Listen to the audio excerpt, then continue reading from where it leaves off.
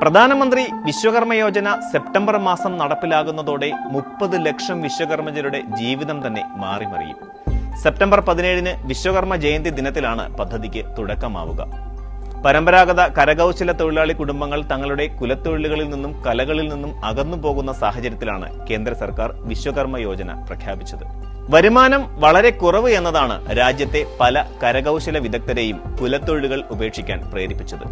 പരമ്പരാഗതമായി കൈവന്ന കഴിവുകൾക്ക് മറ്റ് രാജ്യങ്ങളുടെ സാങ്കേതിക വിദ്യയുമായി കിടപിടിക്കാനാകാതെ വന്നതോടെ ആഭ്യന്തര വിപണിയിൽ പോലും വിദേശ ഉൽപ്പന്നങ്ങൾ മേധാവിത്വം നേടി.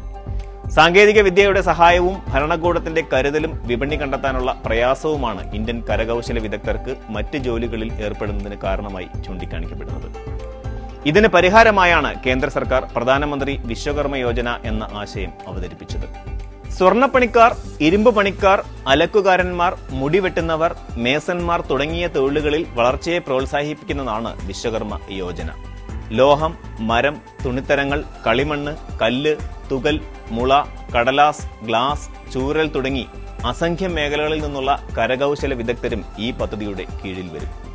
പരമ്പരാഗത ഉൽപ്പന്നങ്ങളുടെ നിർമ്മാണത്തിനും വിപണനത്തിനുമായി ഈടില്ലാതെ വായ്പ നൽകുന്നതാണ് പദ്ധതി. അഞ്ച് ശതമാനം പലിശ നിരക്കിലാകും വായ്പ ലഭ്യമാകുക. പതിനെട്ട് പരമ്പരാഗത വ്യവസായങ്ങൾക്കായാണ് ആദ്യഘട്ടത്തിൽ പ്രധാനമന്ത്രി വിശ്വകർമ്മ യോജനയിലൂടെ സഹായം ലഭിക്കുക. മരപ്പണി ബോട്ട് നിർമ്മാതാക്കൾ കവച നിർമ്മാണം കൊല്ലപ്പണി ചുറ്റിക ഉപകരണ നിർമ്മാണം പൂട്ട് നിർമ്മാണം സ്വർണപ്പണി കുംഭാരന്മാർ ശില്പികൾ കല്ലുകുത്തുകാർ കല്ല് പൊട്ടിക്കുന്നവർ ചെരുപ്പ് പണിക്കാർ മേശിരി കൊട്ട അതുപോലെ പായ അല്ലെങ്കിൽ ചൂരൽ നിർമ്മാണം കയർ നെയ്ത്ത് പാവ കളിപ്പാട്ട നിർമ്മാണം പരമ്പരാഗതമായി ചെയ്യുന്നവർ ബാർബർ മാലകെട്ടുകാർ അലക്ക് തൊഴിലാളികൾ തയ്യൽ പണി മത്സ്യവല നിർമ്മാണം എന്നീ മേഖലകളിലുള്ളവർക്കാകും വായ്പ ലഭ്യമാകുക. പതിമൂവായിരം കോടി രൂപയാണ് പദ്ധതിക്കായി മാറ്റിവച്ചിരിക്കുന്നത്. രണ്ടായിരത്തി ഇരുപത്തിയെട്ട് വരെയുള്ള അഞ്ചു വർഷക്കാലത്തേക്കുള്ള പദ്ധതി വിഹിതമാണ് ഇത്. പദ്ധതിയുടെ ഭാഗമായി തെരഞ്ഞെടുക്കപ്പെടുന്ന കരകൗശല വിദഗ്ധർക്ക് ആദ്യ ഗഡുവായി ഒരു ലക്ഷം രൂപയും രണ്ടാം ഗഡുവായി രണ്ട് ലക്ഷം രൂപയും നൽകും. കഴിവുകൾ വർദ്ധിപ്പിക്കാൻ പരിശീലനം ഉപകരണങ്ങൾ വാങ്ങാൻ ഇൻസെന്റീവ് ഡിജിറ്റൽ ഇടപാടുകൾക്ക് പ്രോത്സാഹനം എന്നിവയും പദ്ധതിയുടെ ഭാഗമായി നടപ്പാക്കും. പരമ്പരാഗത ഉൽപ്പന്നങ്ങളുടെയും സേവനങ്ങളുടെയും നിലവാരം മെച്ചപ്പെടുത്തി ആഗോള വിപണിയിൽ സ്ഥാനമുറപ്പിക്കലാണ് പ്രധാനമന്ത്രി വിശ്വകർമ്മ യോജനയിലൂടെ ലക്ഷ്യം വയ്ക്കുന്നതെന്ന് കേന്ദ്രമന്ത്രി അശ്വിനി വൈഷ്ണവ് വ്യക്തമാക്കുന്നു. പദ്ധതിയുടെ ഭാഗമായി രാജ്യത്തെ കരകൗശല വിദഗ്ധർക്ക് P M Vishwakarma certificate I D card എന്നിവയും വിതരണം ചെയ്യും.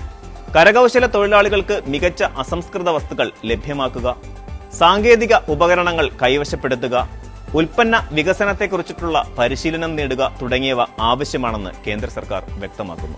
ഉൽപ്പന്നങ്ങളുടെയും സേവനങ്ങളുടെയും ഗുണനിലവാരം അളവ് എന്നിവ വർദ്ധിപ്പിക്കുകയും വിപണി കണ്ടെത്തുകയുമാണ് പ്രധാന ലക്ഷ്യങ്ങൾ. അന്താരാഷ്ട്ര ആഭ്യന്തര വിപണികളിൽ ഇന്ത്യൻ ഉൽപ്പന്നങ്ങളുടെ സാന്നിധ്യം ഉറപ്പിക്കാനും ഇതിലൂടെ കഴിയുമെന്നാണ് കണക്കുകൂട്ടുന്നത്. രണ്ടായിരത്തി ഇരുപത്തി മൂന്നിലെ ബജറ്റിലാണ് വിശ്വകർമ്മ പദ്ധതി ഔദ്യോഗികമായി പ്രഖ്യാപിച്ചത്.